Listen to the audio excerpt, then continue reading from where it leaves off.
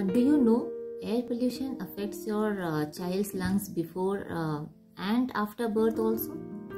Uh, children are more vulnerable to polluted air than adults. Their airways are smaller and still developing, and they breathe more rapidly than adults.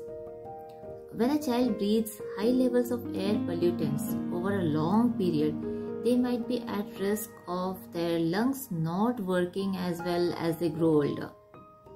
They can develop asthma during childhood or as an adult. And if they have asthma already, air pollution can make it worse. Wheezing becomes more common, uh, cough, uh, then uh, lung cancer when they uh, grow older, infections like pneumonia. And uh, we also have to understand that when we are in a car, we breathe in polluted air from uh, traffic fumes, uh, tobacco smoke and uh, chemicals, petrol vapor also. Air inside car is 15 to 20 times more polluted. Similarly, um, air inside your home is 2 to 5 times more polluted than outside air.